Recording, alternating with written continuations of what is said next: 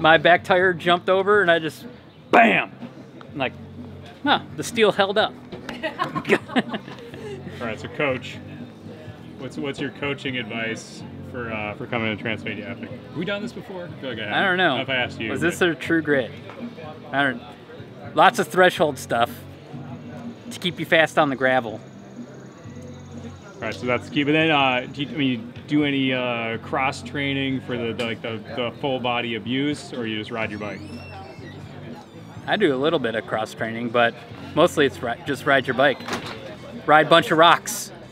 The more rocks, the better. Float on the top. Don't get stuck in the holes. So is it? I mean, does it turn? Is it an endurance event, or is it more like a bunch of small cross country events? As far as I think of it goes? more of an endurance event. Like how does it? Would training for this differ than training for like one 100, or is it kind of the same thing?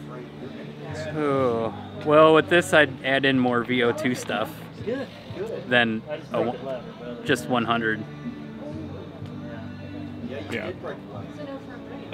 Do you have any other uh, any other coaching tips, coaching advice for this? Not, not right now. not at this juncture. All right, thanks.